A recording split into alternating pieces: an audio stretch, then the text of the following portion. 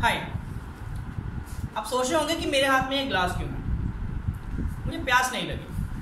आज, इन ग्लासेस की मदद से, मैं आपको प्लेस वैल्यू कैसे बच्चे खेल खेल में सीख सकते हैं, ये बताऊँ आइए देखते हैं। मेरे पास अभी दो ग्लासेस हैं। जैसा कि आप इस पहले क्लास में देख रहे हैं, मैंने कुछ अंक लिखे हैं शून्य से लेकर एक दो, तीन, चार, पाँच, छ, सात, आठ और नौ तक। शून्य से लेकर नौ तक के अंक हमने इस क्लास में लिखे हैं।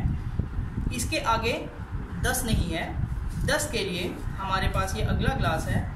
इसमें हमने शून्य शून्य, दस, बीस, तीस, चालीस, पचास, इस प्रकार से नब्बे तक के संख्याओं को इस क्लास में लिखा है।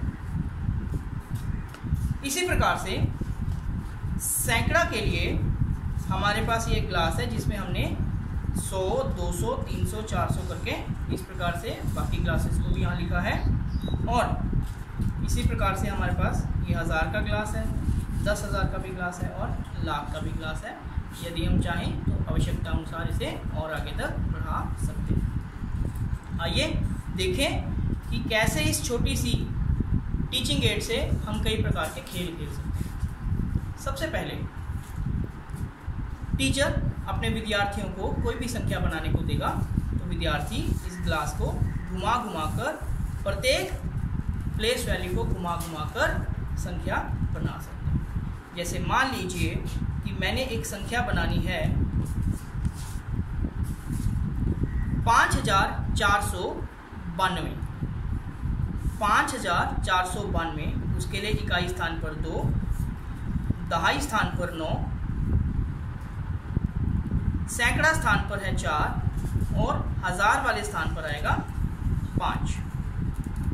तो इस प्रकार से हमने ग्लासेस को घुमाकर संख्या बनाई है पाँच हज़ार चार सौ बानवे।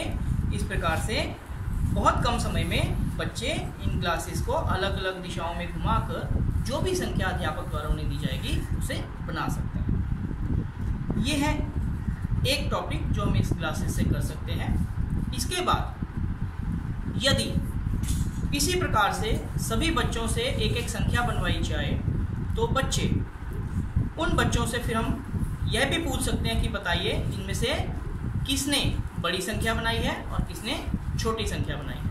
यदि बच्चों ने अपने आप से संख्या बनाई है तो बड़ी और छोटी के हिसाब से उन्हें सबसे बड़ी संख्या, सबसे छोटी संख्या, आरोही क्रम अवरोही क्रम इस प्रकार से बहुत सारे टॉपिक्स इस छोटे से क्लास की टीचिंग एड से हम बच्चों को करवा सकते हैं। तो देखा आपने, ये बहुत ही मामूली सी, छोटी सी टीचिंग एड है और इसके मदद से गणित के बहुत सारे कॉन्सेप्ट्स हम बच्चों को खेल खेल में सिखा सकते हैं।